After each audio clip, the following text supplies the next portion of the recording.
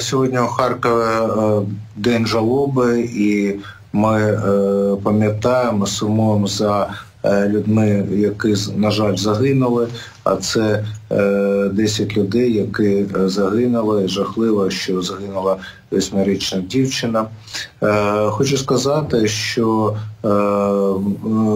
вже відбулися похорон двох людей. Завтра теж будуть похорони і будемо ховати людей, які загинули.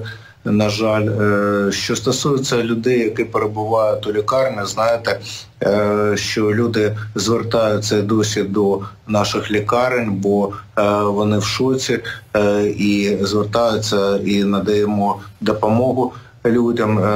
На сьогодні перебувають 30 людей у лікарні з різними ступенями важкості.